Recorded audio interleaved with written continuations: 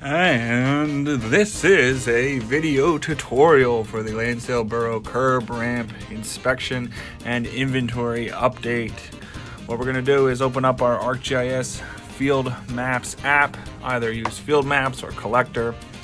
We're going to go to the curb ramp update. This will auto locate you to wherever you are in town.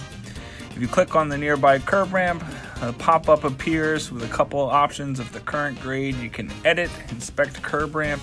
First, we're going to edit the basic inventory by clicking that edit button. I'm going to choose the date for the field date that it was updated. Update its letter grade according to our ranking system. This one was recently upgraded from a C to an A. A be- just a beautiful curb ramp here, two two pads on either side at the corner of Columbia and Southford. We're going to update it with a nice looking picture. Hit use photo in the bottom right corner. And that's going to be just about it for the actual inventory. We'll hit submit in the top right. The updates are sent and the inventory is up to date. Now, separate from the inventory is the inspection process. There's a button like the original pop-up that we just saw called inspect. We're going to click that and then go through, hit inspect curb ramp.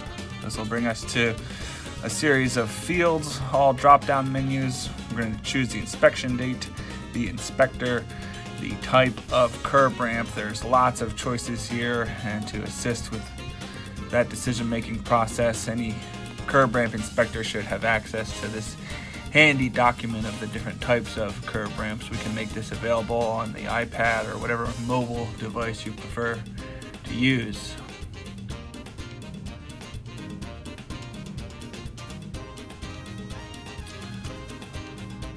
Once the type of curb ramp is identified, we're going to choose that here from the drop down list and then continue with the inspection process.